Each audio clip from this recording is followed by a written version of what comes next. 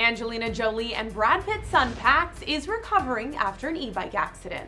According to Los Angeles police, the 20-year-old suffered a severe head injury from the crash in Los Angeles on Monday. Pax required immediate medical treatment and was transported to a nearby hospital.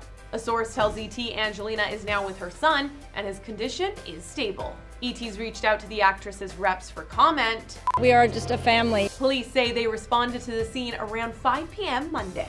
A car was stopped at a red light and Pax's e-bike hit it from behind.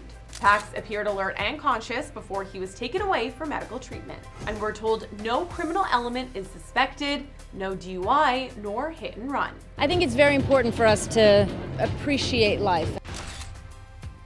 That's Pax on his electric bike in LA just three weeks ago, looking confident even as he rode side saddle.